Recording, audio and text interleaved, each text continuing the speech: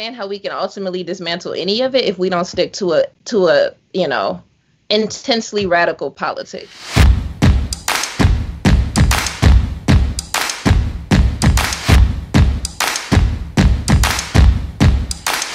You're not broke if you're taxing rich people.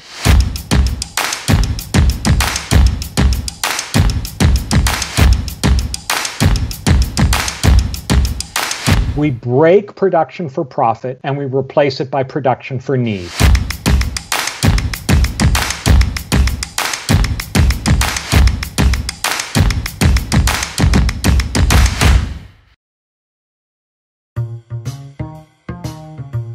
This event is brought to you by Haymarket Books. Now, more than ever, it is critical to support independent publishers, independent bookstores, and independent voices. There are two ways you can do this today. First, by buying books from Haymarket at haymarketbooks.org. And secondly, by joining the Haymarket Books Book Club.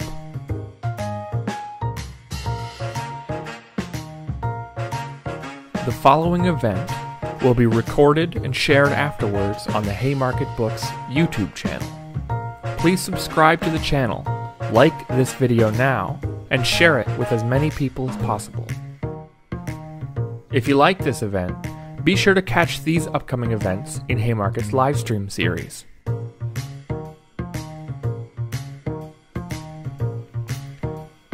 You can register for these upcoming events on the Haymarket Books Eventbrite page.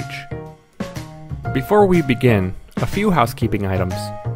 We are moderating the chat, but we cannot guarantee that everyone will observe our community guidelines. People who violate these guidelines will have their comments deleted as quickly as we are able. This event will have live, closed captions. Instructions for accessing the captions will be posted in the chat.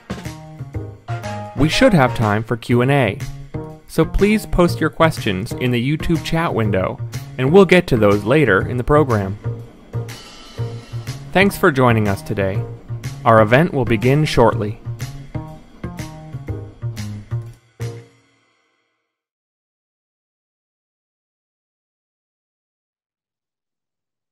Welcome, everyone. I'm Erica Foreman from Haymarket Books. Thanks so much for joining us this evening. We're incredibly honored to bring together Seema Yasmin and Steven Thrasher for what I'm sure will be a brilliant conversation in honor of Seema's debut collection, If God is a Virus, which we had the honor of releasing just last month. A little bit about our guest and our featured reader this evening. Dr. Seema Yasmin is an Emmy Award winning journalist, medical doctor, disease detective, and author of If God is a Virus. She was a finalist for the Pulitzer Prize in breaking news reporting in 2017 with her team from the Dallas Morning News for coverage of a mass shooting.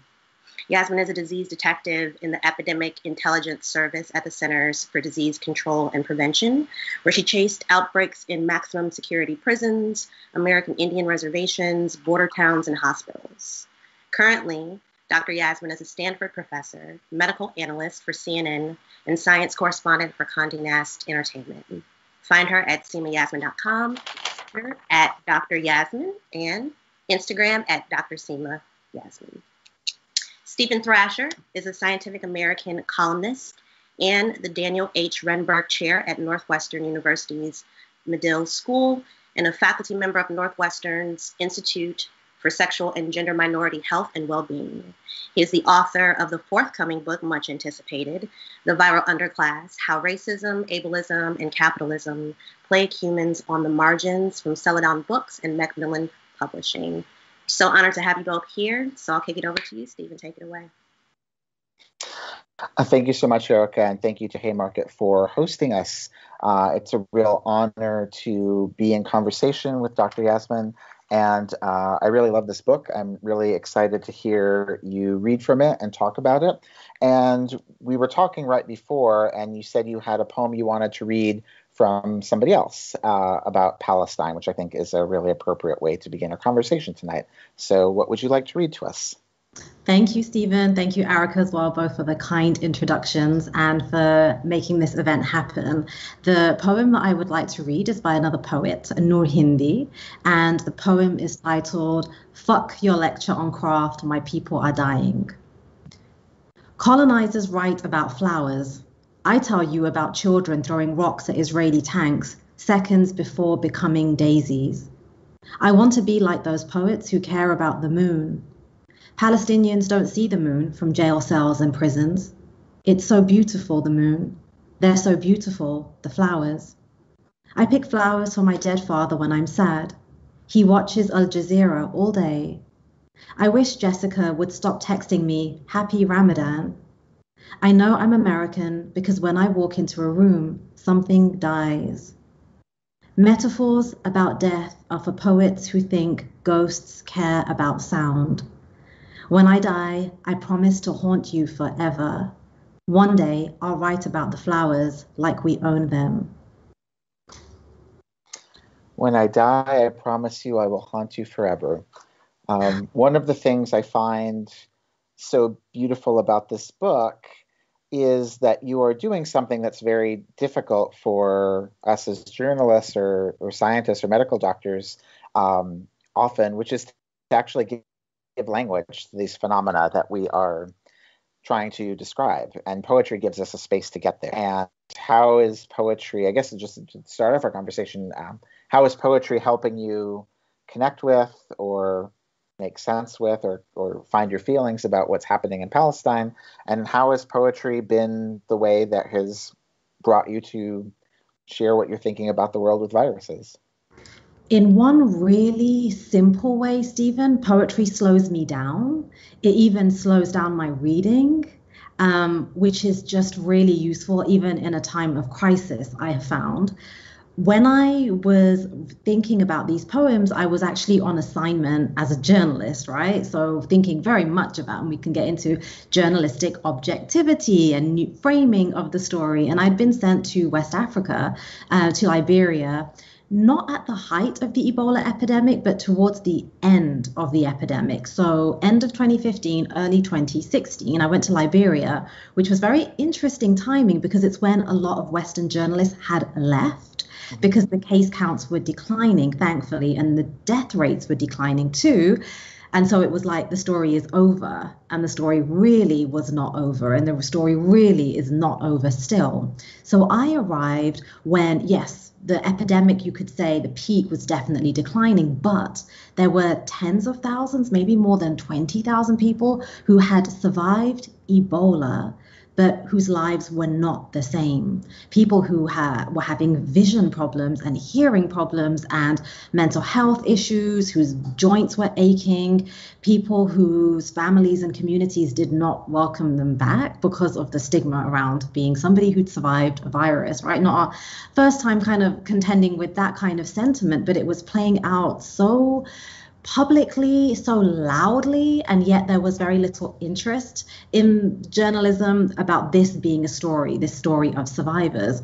So I had gone, and that's the reason I got support from the Pulitzer Center because they support journalists to tell underreported stories. And Ebola survivors were apparently to many people not that interesting, and therefore it was underreported. As I went very much with my reporter's notebook and I did my uh, assignments for Scientific American and PBS and the Dallas Morning News, and yet I mean, I read poems all the time, and all the time I was thinking, especially this point, about the limitations of journalism, the constraints that we have put on it, the things that I felt I had to do to be a professional journalist uh, working at a newspaper. Um, and yeah, and, and testing those limits with my journalism, even subtle things like insisting on using first person the first names of people and not the last names. So My editor was like, why we don't do that? That's weird. And I was like, I'm just looking for more ways to humanize people. And since we generally are not in the military and generally we use people's first names, like, can I try that? And so I was pushing limits, I guess, and then thinking about what work poetry might be able to do that journalism wasn't allowing me to do mm. and certainly not a new idea or you know to think about documentary poems. There's a book I have from, I think it was published almost 100 years ago, The Book of the Dead by Muriel Rukeyser, um, in which she documents this awful tragedy that happened in West Virginia in 1931, where hundreds of men, mostly black men, died while digging a tunnel.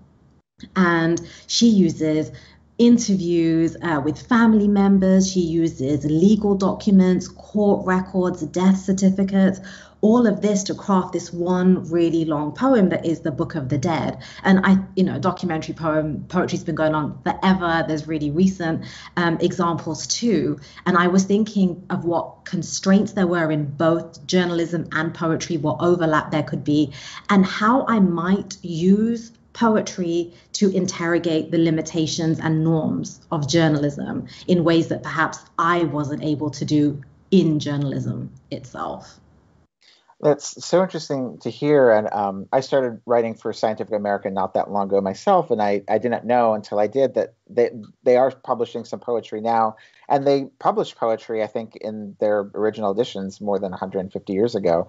Um, so poetry is this beautiful thing that can help us understand the world. I would love to hear more about what was your sense as a journalist in terms of the limitations of how you were expected to be objective. And this is something I, I think about a lot. Mm-hmm. Um, my colleagues, my students think about a lot. And to my uh, pleasant surprise, I think journalism as a whole has been reckoning with it much more broadly, particularly uh, in light of the Black Lives Matter movement last summer and um, and lots of ways that consciousness has been raised. But I'm curious to hear what were the limits for you that you felt imposed upon you, and how did you navigate that as a journalist? And then how is um, poetry either given you a space outside of that, or also maybe helped other journalists you work with understand that um, we don't always have to be quote unquote objective? Yeah, and, and what does it mean? Who ob- objectivity? So I'm looking back at Nora's poem because I was thinking the title is "Fuck Your Lecture on Craft, My People Are Dying," and I'm like, wait. As soon as you said objectivity, I was like, "Fuck your lecture on objectivity!" Like people are dying. Um, one of the core required readings in my journalism class here is Lewis Raven Wallace's book, The Myth of Objectivity. Right, the view from somewhere, undoing the myth of journalistic objectivity, and the history, like I never learned that in journalism school, actually, the history of why objectivity became a thing in journalism. And that history is fascinating just in terms of the profession saying, oh, government, go away, like we'll police ourselves, and here's what we're going to do. We're going to be fair and neutral. Like, I just, even these terms are so frustrating. And again, it applies to journalism, and you were saying earlier, but to science and to medicine as well. This idea that scientists are these neutral arbiters, that we are objective as if we don't exist within a political world, as if we leave our biases outside the newsroom or outside the laboratory before we step in. So even before I went to cover the Ebola epidemic, I was dealing with those instances, those uh, questions, those arguments every day. And I would come home and describe them as microaggressions, right? Because because and my mom was always like, it's never micro, it's always a macroaggression. Um, because it was the conversations with editors about what is a story and what isn't a story. And there's a poem about that here too. Mm-hmm. Um, and even actually, you know, Erica mentioned that I had covered a mass shooting in Dallas, very close to the newsroom. It was horrific. And one of the things that happened in the 36 hours of mayhem straight after when the shooting when none of us had slept and we are just on the go on the go filing copy from wherever we were sent was i had noticed that there the dallas police department had put online a video of a, a black man who had been at this peaceful black lives matter protest and said this is our shooter. So they'd basically put a target on this man's back and he was an innocent man and we had a one inch brief on him in the paper. And so when I was looking at my story, I saw that and I was like, oh my gosh, he could have been murdered. You put his picture on Snapchat and social media and said, this is our shooter, when you didn't even know how many shooters there were or when. We're back. So, uh, yeah, and we're back. We had a technical glitch. Um, so I was just saying about this horrific mass shooting that happened near the newsroom. It's all hands on deck. We're all covering it. And the next day, I mean, there was just so much mayhem, as there always is with these horrific incidents. You don't know how many shooters there are, who actually was the target, what's going on. But in the middle of that chaos, in the night, it turned out the local police department had put online a photo of an innocent black man who was at a peaceful protest and saying that was the shooter. And I was horrified. And yet I had to really fight to be able to report that story. And when I was saying, oh, we covered it as a brief, therefore we must have contact information for him, his lawyer, something, someone's covered it. And it was like, no, it was aggregated. I was like, okay, but let me find the information and interview him. And this is a really big story. It's a story about 2A rights and for whom those rights matter in Texas. Um, and it's just, you know, things like that every day that I think. Um, resonate with many journalists of color. A few of my colleagues and I were creating this toolkit, Steven, that's called like uh, the Survival Kit for Journalists of Color. And in, in creating it, we were reaching out to journalists from across the country and saying, send us things that have happened to you. And it's just the same thing over and over and over. And so um, poetry for me was another way of interrogating those biases, that the new, the framing of news, even those discussions around what is news and what gets left on the cutting room floor. Um, yeah, thank you for that. I, when I've taught Lewis's book and met met Lewis, I think a lot about how understanding our subjectivities doesn't make our work weaker; it makes it mm-hmm. stronger. Mm-hmm. But there is something really, and I think there's something very powerful about when we can bring things to the table that are specific to the story. Mm-hmm. I've only covered um, one mass shooting. It was Pulse and I just happened to be awake when it was happening at two or two thirty in the morning when I started seeing news about it on Twitter. I was writing for the Guardian at the time, and I connected with one of our editors in Australia who was on shift over the weekend and started arranging the breaking news coverage. And then I wrote an opinion piece. Didn't really sleep and got in a plane and flew down there and was there mm-hmm. for the next week. Um, and it was a really i don't i hadn't done and i don't do that kind of breaking news that often but i really threw myself into this experience. Um, and it was really informative for me to embrace my identity as a queer person of color. I stayed in uh, the parliament house motel which has now been closed by this pandemic um, but it was a place that was both kind of a flop house um, for for gay men. It was a place where many people worked at Pulse and at the bar at this place uh-huh. and the uh-huh. club at this place. And so it was an extremely different experience reporting that story over the next week um, in breaking news settings and having arguments with editors about the ways they were trying to frame it. Often, you know, white Brits in London, sort of trying to impose yeah. a point of view that I was saying, like, we really, this is something that's very specifically happening in the Latinx community, mm-hmm. quite actually very much in the Puerto Rican community. We need to look at the context of why so many young gay Puerto Rican people are even living in Florida in the same place. Um, right. And even though they were viewing it as sort of a gay story, it was more complicated than that. But it was a story of something that happened to service workers. All, all many of the people at Pulse were service workers themselves and their friends. Um, and so they're all working until one or two in the morning, even though they might be mourning, their, their friends were still working until one or two in the morning. That's when you can start reporting the story when they're not working. Mm-hmm. Um, and yeah. that kind of perspective makes the work richer, I think, than sort of hunting for a sense of objectivity. Um, the other thing I was thinking of when you were talking about poetry is I I think being a reporter can really be in the beat uh, the beat tradition of poetry of sort of getting to hear the wonderful ways people talk. Mm-hmm. And my mm. friend AJ Bauer, who's a journalist and journalism professor, uh, I I tell him he's poetic and he rejects it. He says I'm not a poet. I'm just a journalist. The world is the poetry. And mm-hmm. then I mm. told him, well, that's poetry itself, right? AJ. Um, but it is a beautiful thing to get to go out into the world and sort of listen to the poetry around us as a journalist. Yeah, for sure. And actually, now you're making me think that somebody said when I wrote some of those pieces from Liberia that the inflections and perhaps the tone of people's voice came through.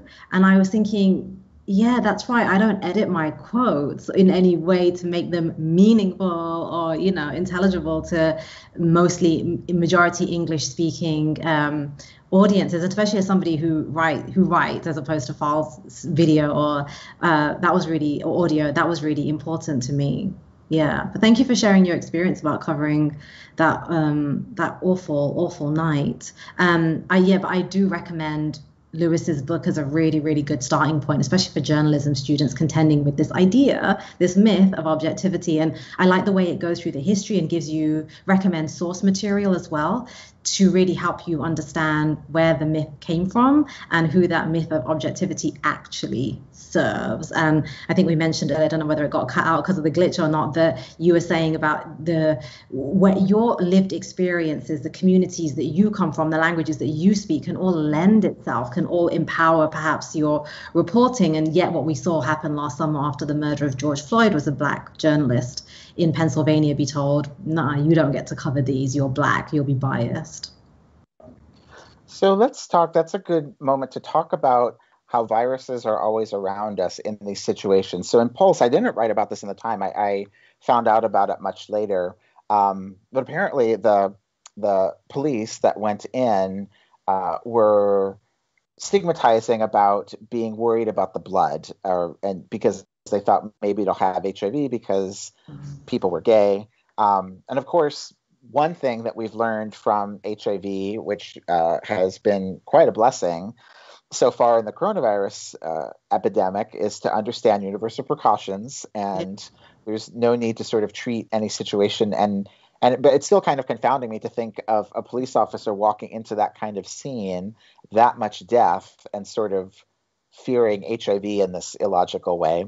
Um, yeah and that also makes me think about how, which I, I'm writing about my book. I wrote a piece about it in Slate last year that mm-hmm. George Floyd, in his autopsy, he had the coronavirus. Um, and, you know, would he have died from it? We don't know because he was murdered by Derek Chauvin. But it is yeah. interesting and sad to see that these sites of violence yeah. in the United States, I mean, I can speak to best in the United States, uh, are both sites of violence, and they are also the sites of where people are going to be most vulnerable to viruses because yeah. these are created out of overlapping forces. Right, and then the aftermath too, because I the, the thing that I wrote about Pulse, I didn't cover it as a breaking news event, but I wrote about the FDA's anti science nonsense protocol around at the time banning men who have sex with men from donating blood and plasma products. That's changed a little since then, or it's changed a lot since then.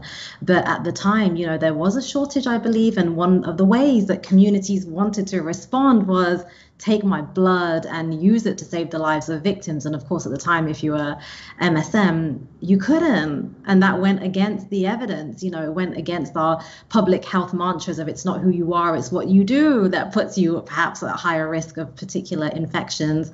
But what you're saying also reminds me about not just police officers, but stigma when it comes to healthcare personnel, too. Um, I am the daughter of an AIDS activist. So my mom was an AIDS activist and a care worker of people with HIV/AIDS in the 90s, and so I kind of grew up with that um, and the the kind of activism around that. And went into medicine partly because of it. And I remember just once I was a hospital doctor, having patients, uh, patients, having colleagues come, sometimes be honest and sometimes lie a little and say, "Oh, you know, um, Mrs. Jones's veins are really difficult. Would you have a go?" Or Mrs. Smith has HIV and I'm really scared. Would you take her blood instead? And it's like, yeah okay but really like what? You went through how many years to not really understand you know how to protect yourself or what the risks are? So it's perverse and pervasive um, these fears and stigma and beliefs that we have around viruses well, I actually have a different point of view on um, on the blood ban, which is something that I've written about. Uh, I wrote about it like ten years ago, and I've thought about it, not written much more since. But the FDA ban was homophobic when it was banning people around identity, saying if you've had sex with a man since 1977 as a man, you can't donate again. And they've since revised it a couple times and now mm-hmm. said if it's within 12 months, now I think it's three or six months. Um, but one of the things I find very interesting about it is a lot of the first of all, the, the blood donation donation industry is a multi-billion dollar industry that predicates itself on getting people very worried about um, getting access to blood. Yeah. And then for it's been interesting to me to see that a lot of gay men want to donate in a way that they often think that they can't means they're dirty in a way because they're thought of having HIV. Mm-hmm. And a big problem with it is that the FDA had this long ban that was about identity and not about activity. Mm-hmm. But I found it very interesting. I've like if you've been incarcerated within a year, if you've had a tattoo within a year, you can't donate blood. Mm-hmm. And I've never heard sort of prison activists talk about it in the same way that gay men talk about it. I think they should be though. Um, I think they should be. I mean, I can't donate blood here because I lived in England during the mad cow disease. Right. BSE crisis. But that's interesting. You make a really good point. You make a really good point about incarcerated communities and a- activists. Um, so tell me um, more about how maybe, the, and this is a way to, to get into the reading of your poems. Uh, how did you actually, at, at a craft level or sort of at a practice level, begin actually writing the poems? Did you start writing them while you were in, while you were in the field um, reporting on Ebola?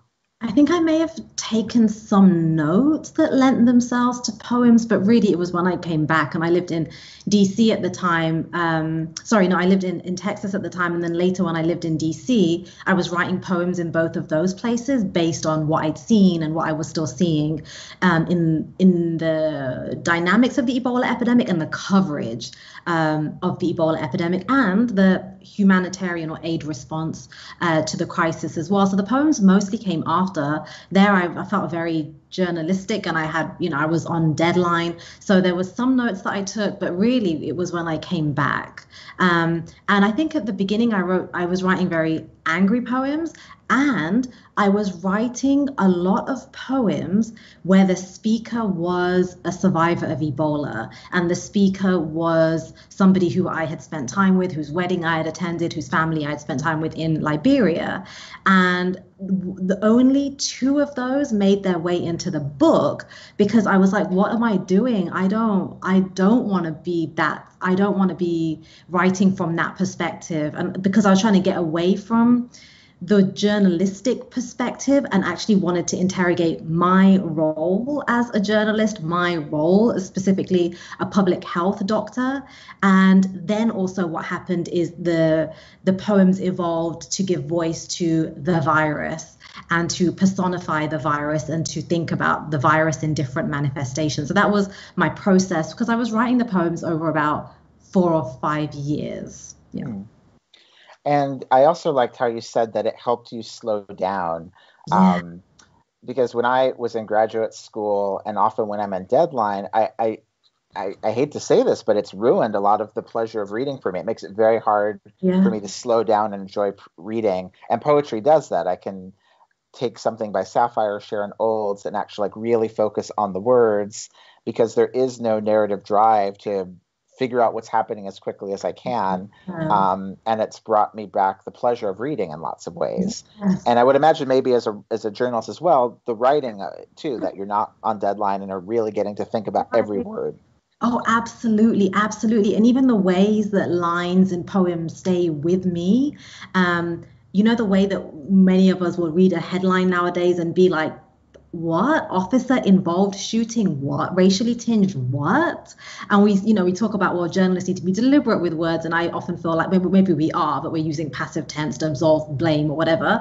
Um, but with poetry it feels so deliberate. Like i can almost imagine the, the poet like scratching out a word and or being like no that word can't end this sentence. It has to go in the next stanza worrying excessively about the white space and the enjambments and all of that. And actually something like this happened this morning. Um, there are some high schools that are teaching this book. And when i was talking to one of these high school classes an english class earlier this morning here in california via zoom um, there was a young woman woman who said to me, You know, there's this line, and it's from a poem that I'll read later. She said, There's this line in there. And I was like, That line doesn't make sense. She was saying to me, Because you were talking about babies in shallow graves, and then you went straight to maple syrup. And I was like, What is she doing? This doesn't make sense. And then she said, but the next day I was like, oh, I get it. And I was like, yes, that's what poetry does to me too. It does confuse me sometimes, or it does like jar me. It does stop me in my tracks, and then it marinates for days and days. I think, and I don't want to keep like always comparing journalism and poetry. I don't want to do a disservice to journalism because there's so much incredible journalism out there. But for me, at least for my literary brain, poetry has a way of like marinating in my brain and stopping and and staying there, lingering. I think more than journalistic writing does. There's a line in one of the many poems named If God is a Virus in the book um, that I've, I've already referenced to people. Uh, 8% of your genome is viral. We are literal cousins of ancient pathogens, wretched offspring of pandemics. And I've thought about that. It's a it's a beautiful way to think about how we are viruses. They are part of us and they will always change us. Um, and it's such an interesting counterpoint to fears that that vaccines are going to change your DNA. I was trying to explain to somebody the virus is like if you don't get vaccinated, it's going to change your DNA. Um, and they have historically, they have. They have. And I'll just tell you because you mentioned one of the like the poems it's called "If God is a Virus." That this morning, right before I was joining the high school class, the Pulitzer Center, which was sponsoring and organizing these high school visits, said, Oh, and by the way, they love your poetry book and they've been studying it for weeks, but it's a conservative Christian high school, so you're not allowed to mention the title of the book. And I was like, Wait, wait, what? Logging into Zoom, like, I can't wait. What? I don't know. Um, so that was very interesting. Um, but yeah, and I'm, you know, by some estimates, it's 8% of our genome is viral, maybe 12%. And then there's another poem in the book later on, also called If God is a Virus, that talks about our evolution evolution and our ability to have placentas that fuse properly, um, that ability likely comes from a gene that was derived from a virus. So you could argue that our literal survival is dependent on our ancestral viruses that we carry with us. Yeah. So uh, on the the title the title of the book and the title of several of the poems, If God is a Virus, I, I found it provocative and beautiful. I, I often think that viruses are among my most uh, important teachers, um, mm-hmm. you know, particularly because I've learned so much from AIDS history and HIV activism, and mm-hmm. it has created such a building place from what we're experiencing now uh, across society. Um, yeah. How did you come to that title? I wasn't thinking about it as a title for the book at all. I was thinking about it when I was thinking, what is a virus? Because I think of it in so many ways. And I think we have this weird binary conversation in science. We always get stuck at are viruses alive or are they not? And really, they are both. Then how can you be both? And in what situations are they both? And I really love that debate, even though often it's like, whatever, you just carry on with the work. So I was thinking, what are they? And I was thinking of them as omnipresent and omniscient entities, which for me, as someone who was raised in a really, really religious Muslim uh, community, makes omniscience and omnipresence. I think of God. And I was thinking, what if they are some version of God? And then I started writing multiple poems with that same title. Like, if God is a virus, who is she? And I'll read some of those. If God is a virus, is she Muslim? Like, if God is a virus, is she a sea creature? Like, just really basic. If God is a virus, does she work at the border? Does she do border patrol? Like, I don't know. And I was just thinking of all these different things that it could be. And then when it felt like the right title for the book, I started literally losing sleep. And I remember saying to my mom, like, this is not healthy. Like, I am so stressed that this is what I need the title of the book to be because my family back in England and in Saudi, they're gonna they're gonna just think this is so blasphemous. And interestingly, last month when um we had a, a launch for the book as well. Somebody in the audience said, You know, I really love these poems. Can you tell me how I can encourage family to read it because they're not going to like the title? And I was thinking, dude, you tell me. Like, I don't know. And I actually, I think I came up with a pretty good response at the time um, and kind of saying, you know, I'm, I'm come from a religious background too. And it's not about, it's maybe provocative, but it's not about trying to be blasphemous. It's really thinking about the, yeah, the omniscience and omnipresence of, of viruses. But that stressed me out in January. Then I just had to draw a line, Steven, and be like, it is what it is. I'm a creative person. This is going out in the world, and my family can just, they'll be all right. Well, why don't we hear from we hear you read from the book? Okay, thank you. So I'll start with um, one of the "If God is a Virus" poems. If God is a virus, she is a Muslim woman in charge of the remote control and human evolution.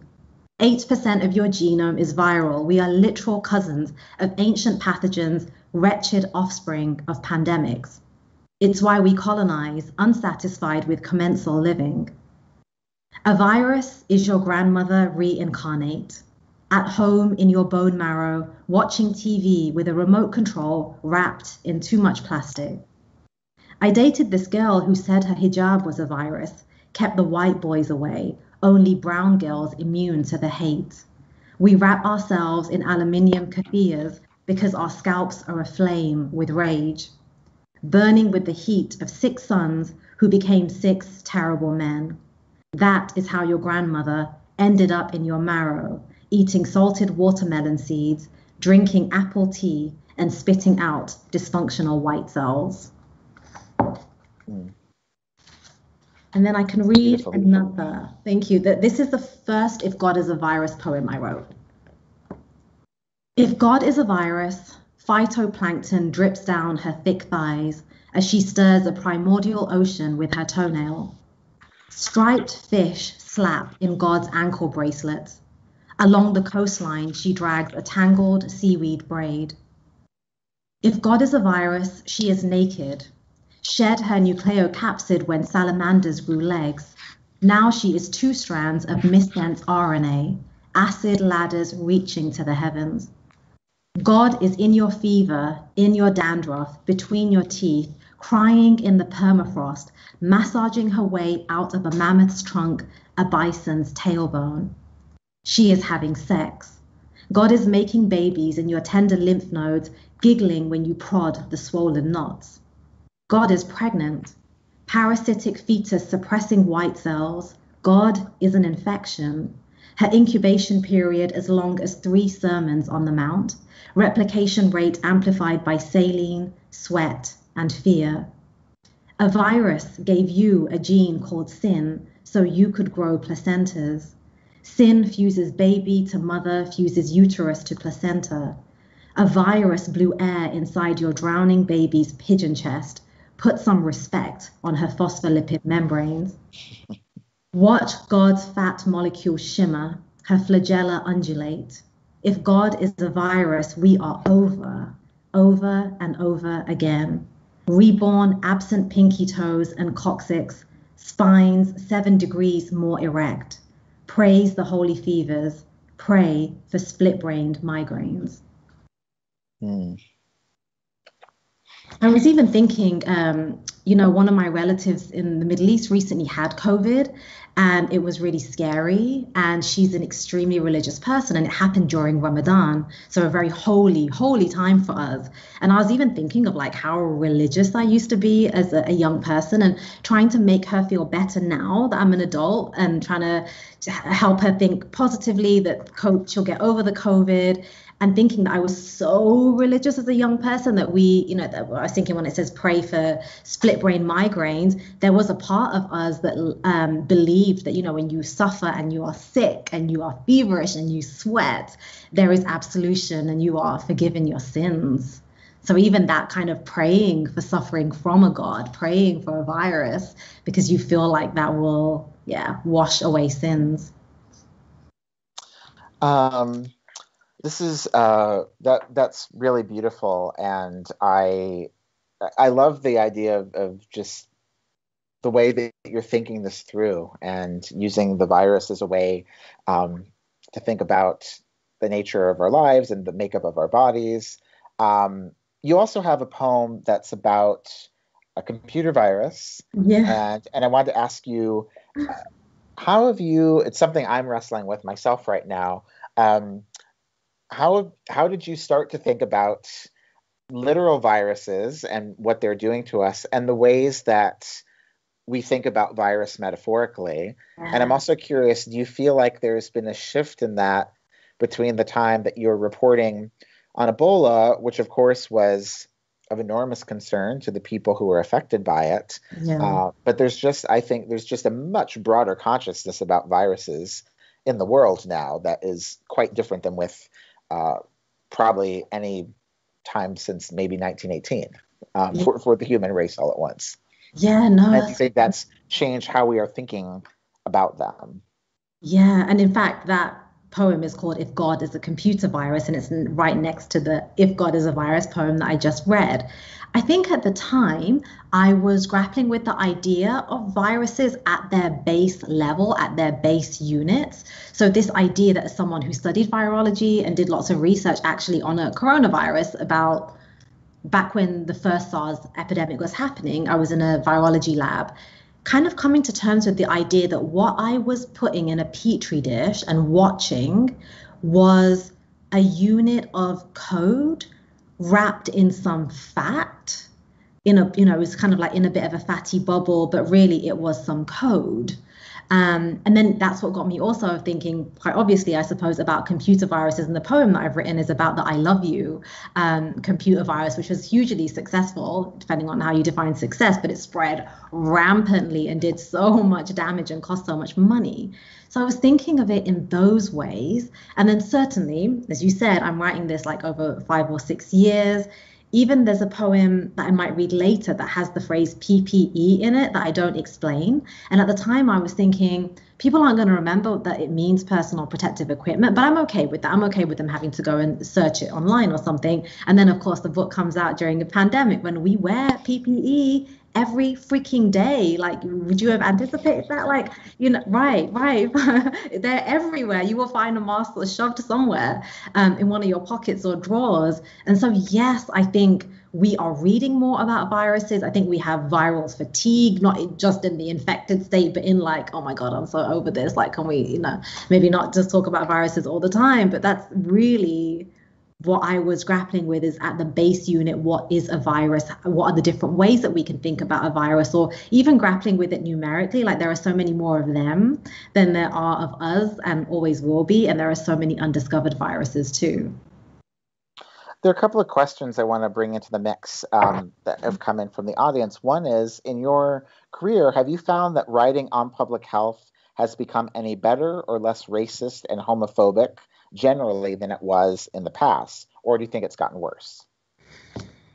I think what has changed is perhaps perhaps a little like this much more space in the mainstream for queer voices, for non-binary voices, for pos voices, I think that might have changed a bit. When I was growing up, I read those voices in what felt like more niche outlets.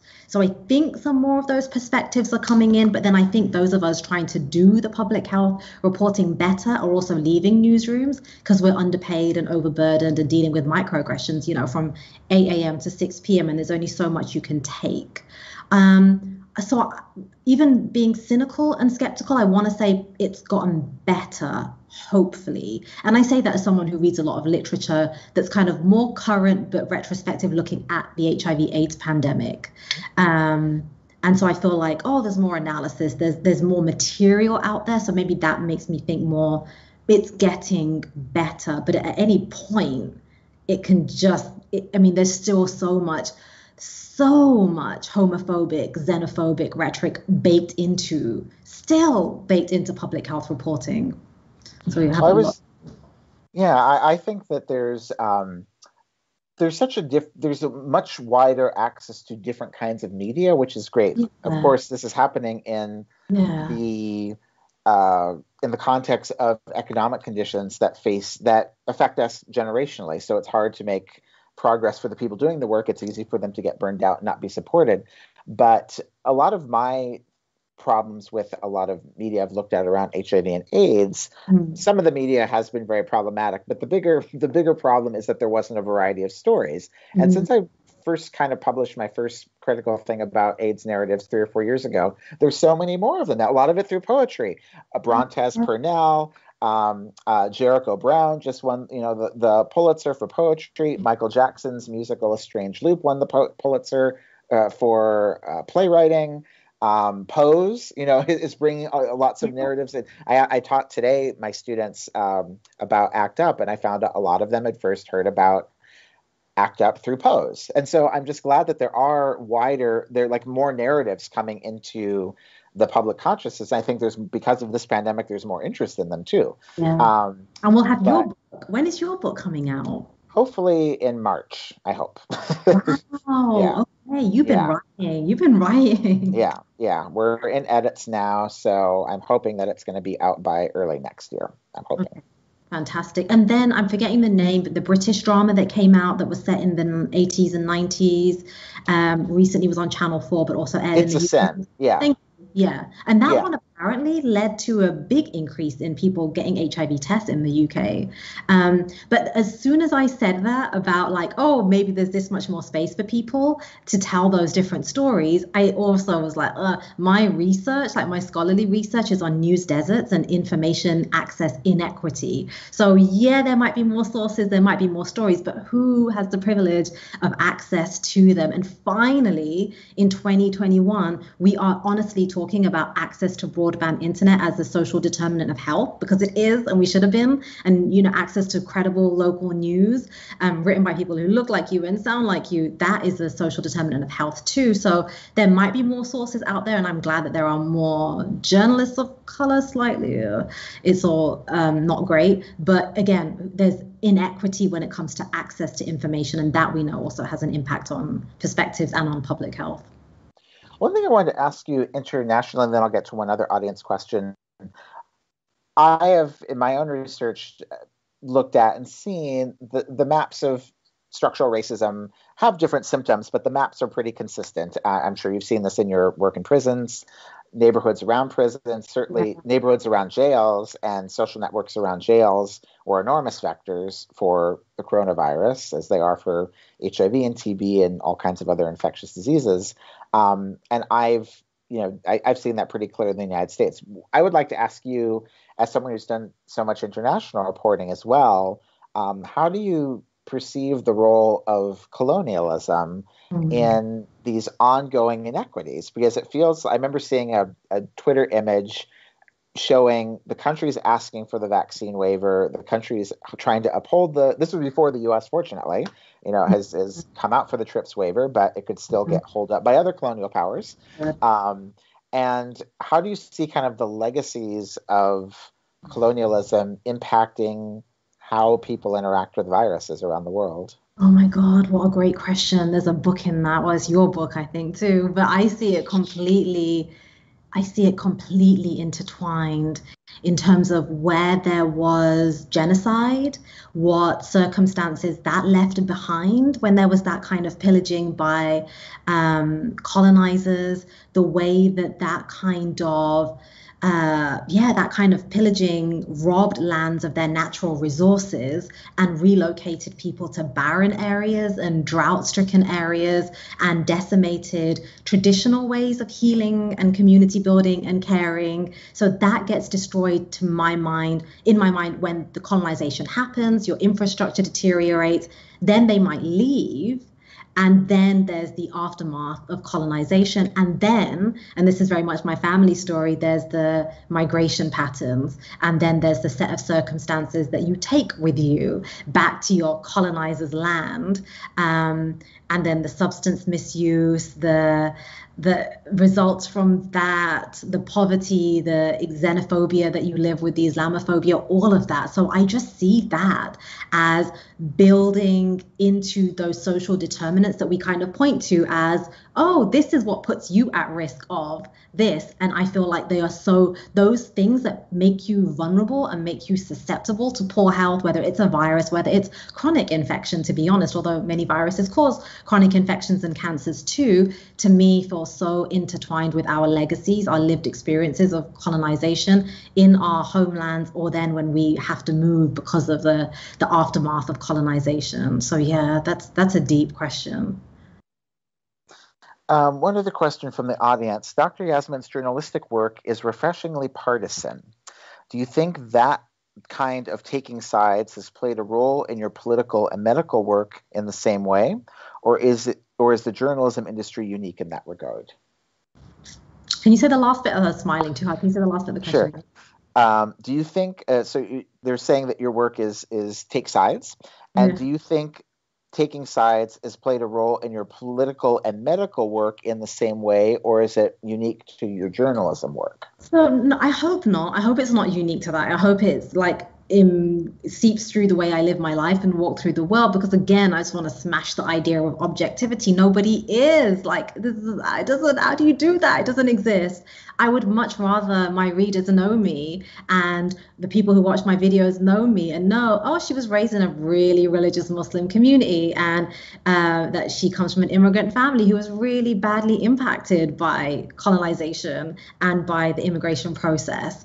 Um, I, I, would rather people know these things about me and my lived experiences so you can understand the lens through which I look at the world and therefore the biases that I bring because we all have them. We all bring our biases. And I mean, it sounds simplistic, but I say this to my journalism students all the time. It's like better to, to know who's, you have to know your sources. You have to know who is it's not just the outlet you're reading it's who's the byline is it or who are they? And if anyone is pre- I, I just think it's a pretending game otherwise to and of course i'm not trying i don't write op-eds really i write very few op-eds and i went to journalism school so because I, I wanted to learn how to report and that's what i mostly did.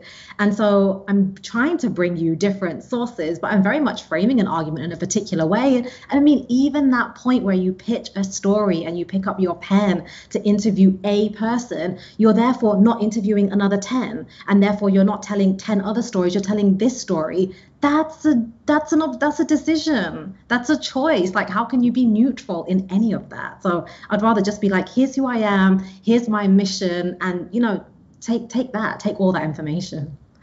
I was talking with my students yesterday or today about how who you're interviewing. I was i was asked a question of getting people on the record and you know, there are various ways you can get officials on the record, but I also said there are often people who will go on the record who are affected by what you're writing about, who are not typically asked. Yeah. And that's part of our, our work is discerning who you want to listen to. You don't the person who doesn't want to be on the record who might seem the sexiest because they have the most formal power might not be the most, per, most interesting person to, to speak to, nor necessarily the most informed I mean, about like, the impacts of what you're writing about. Like, when was the last time you read a story that was about houseless people that mentioned or interviewed a houseless person? It's actually pretty rare, unless it's a story directly about something those people are doing in their community. I read a fantastic story in The Guardian this morning about a community of houseless people in West Oakland who are organizing and creating a village. But many times you read a story about that issue and it actually will not have a single houseless person in it.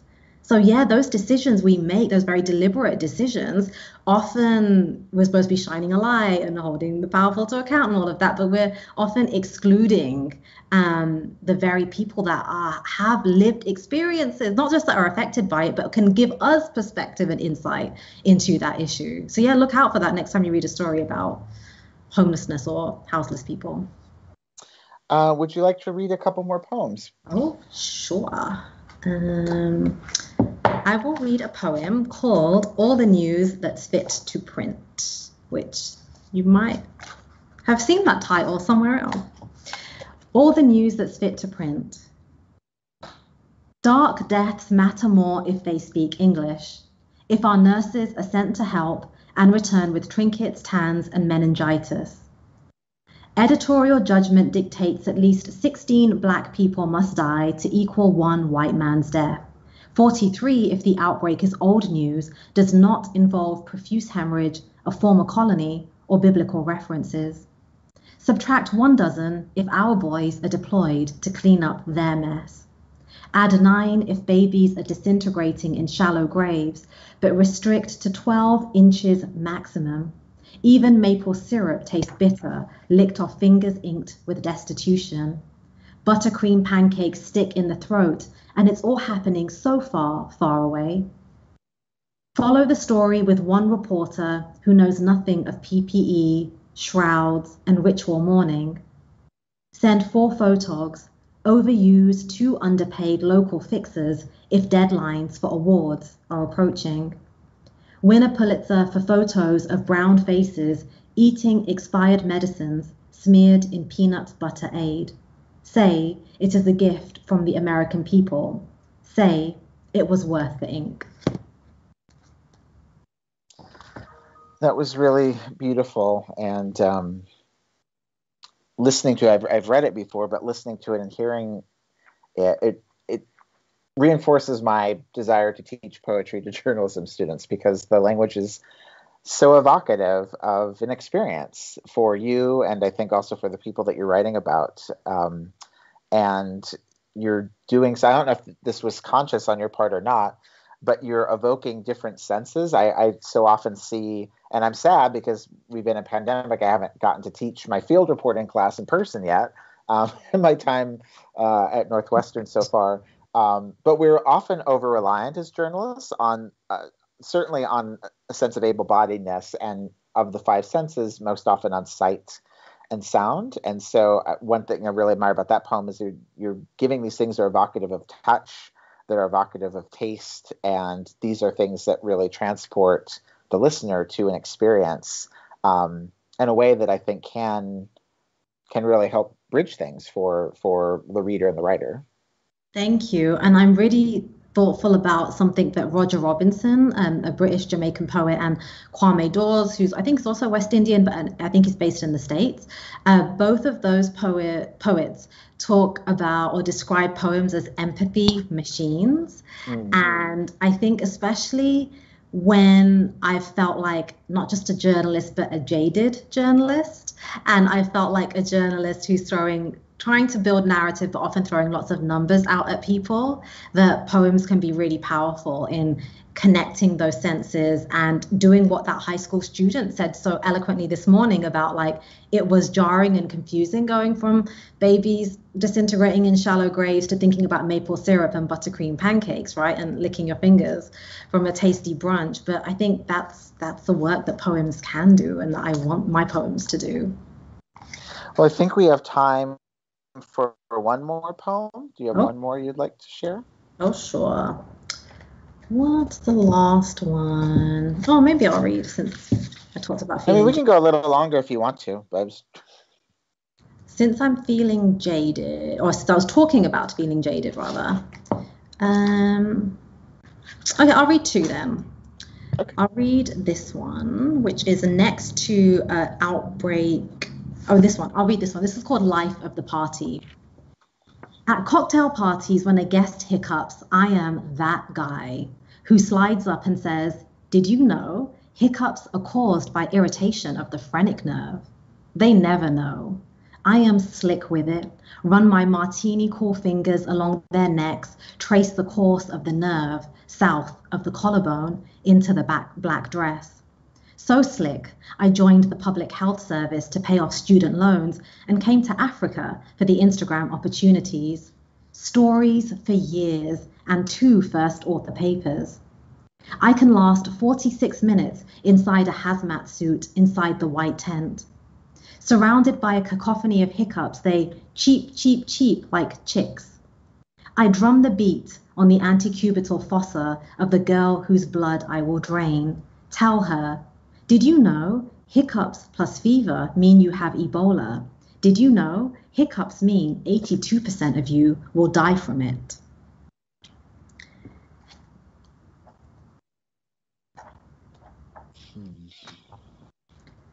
So that's, you know, based on some composite characters.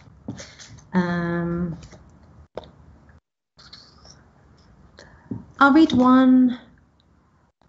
Oh. I'll read this one. It's called Syndemics. First, I was born brown and then a woman, or the other way around, out came woman and Muslim followed. My uncle called me Lighty as a term of endearment, so maybe I was not brown to begin with. Yes, I became brown in college. Become brown every time I'm in a room of white women, pale into insignificance. And woman only with my feet in metal stirrups, queer only with my tongue inside another woman. First, my shopping bag splits, then a jar of olives smashes open. First, I look for help in other faces, then I spear olives with my nails. When I open my mouth, long vowels betray my mother's village. First, I ask for a new bag. First, I plead forgiveness. A brown figure makes a scene. A crouching woman grabs the olives. A hijabi picks up cracked glass. Which one of them is me? And How then, did that? Yeah, go on, go Well, on. well, well, it sounds like you're looking for one more. I just want to ask you, how did that poem um, come into the collection around viruses? Right. So, you know, the title is Syndemics, which, um, for anyone who's not heard that term, um, it got bandied around a lot at the beginning of the pandemic. Actually, I haven't heard it come up so much in reporting recently, but syndemics are kind of when you have concurrent epidemics, which is actually pretty, pretty common, you know. Um, and so I was thinking about overlapping identities and thinking about the speaker, the maybe the maker of the poem, but the speaker too, being many things at once, which many of us are, whether that is a, a journalist and a scientist um, and a poet, um, and then the the speaker of the poem being a woman, being a brown woman, being a queer woman, being a hijabi, and thinking about how we cross or hide those different identities and boundaries. So that's what I was thinking of there, kind of interrogating more the voice of the speaker of that poem and perhaps the maker of the poems too. I always like using that as an out.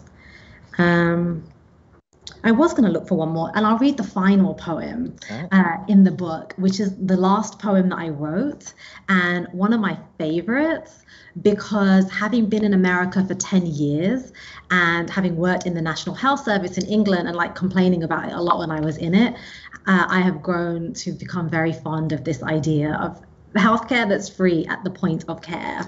So this is my love letter to the National Health Service, and it's called NHS Zindabad. And Zindabad is a word that I know from Urdu, but I think it's in a lot of Persian-derived languages that means long live.